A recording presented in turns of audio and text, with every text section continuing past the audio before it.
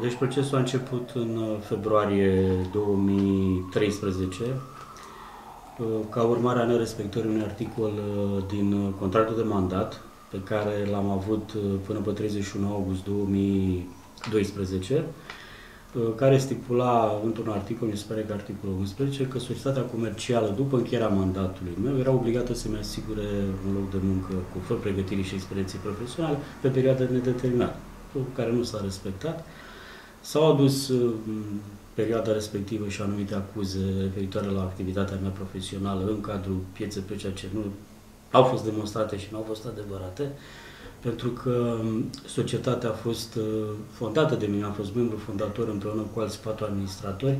și acolo s-a depus un efort colosal ca să putem să uh, închegăm un mecanism care să funcționeze la uh, parametrii optimi. În consecință am hotărât că trebuie să-mi apăr onoarea și, uh, și a mea și a familiei și am acționat în instanță. Am avut în spate un cabinet de avocatură eminent, cabinetul de avocatură ungureanu. Procesul a durat într-adevăr foarte mult pentru că um, fostul director uh, al societății comerciale,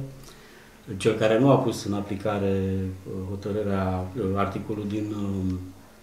contractul de mandat, a înțeles că o societate comercială de talia piețe preț trebuie condusă prin arta războiului, prin principiile artei războiului, fapt declarat într-o emisiune televizată, și nu arta managementului, ceea ce uh, s-a dovedit a fi fatală pentru dumnealui, pentru că și-a dat demisia după șapte luni de zile.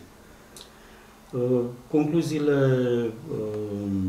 instanței au fost că uh, societatea comercială trebuie să-mi asigure pe o perioadă nedeterminată un loc de muncă în funcția de șef serviciu, așa cum am cerut și eu, de fapt, în august 2012 și, bineînțeles, recuperarea drepturilor uh, salariale, care se ridică în jur la